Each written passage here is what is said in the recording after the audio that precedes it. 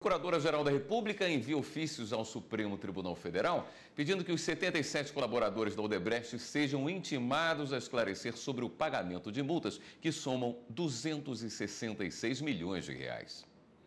Até agora, dos 77 executivos e ex-executivos das empresas Odebrecht e Braskem, apenas dois que firmaram acordos de colaboração na Operação Lava Jato depositaram a multa. O valor pago foi de 92 milhões de reais, mas o total das multas soma 266 milhões e meio de reais.